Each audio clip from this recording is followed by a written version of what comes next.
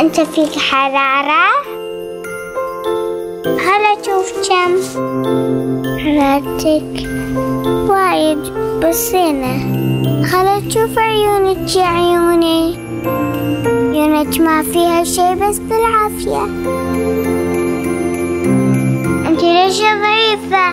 لازم تشربين حليب. واو.